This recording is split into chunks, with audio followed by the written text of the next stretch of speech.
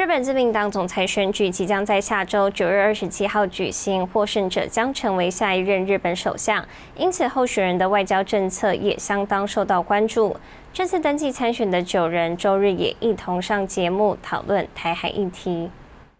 日本自民党的总裁选举将在九月二十七日进行投开票。这次共有九个人登记参选，创下历史新高。而根据多家日本媒体公布的民调，目前占据上风的三人，分别是前自民党干事长石破茂、前环境大臣小泉进次郎以及现任经济安保大臣高市早苗。十五日参选的九人接受富士电视台的邀请，上节目讨论日美关系和日台关系，包括新日铁收购美国钢铁公司以及台湾有事的撤侨等议题。まずこういった難しい状況の中で。起こさないためのあらゆる努力が必要だと思いますそしてこの万が一の事態に何ができるかということも含めた詳細なシミュレーション日本は危機管理この万が一の有事の時のシミュレーションは弱かったと思います。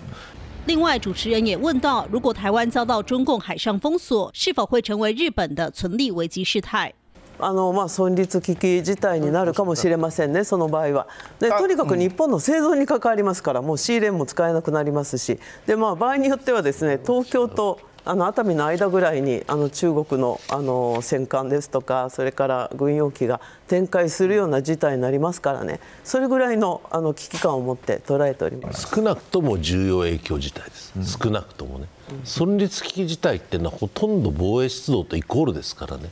武力行使につながるわけですよねそうそうなりますから本当にそうすると日本に中国のミサイルが飛んできます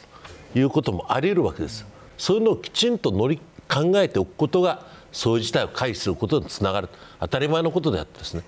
在总裁选举中获胜的人将会成为下一位日本首相。外界也关注候选人的外交政策和理念，尤其是如何应对中共入侵台湾的问题。而每个人也都给出了自己的答案。新唐人亚太电视林家伟、李义宏综合报道。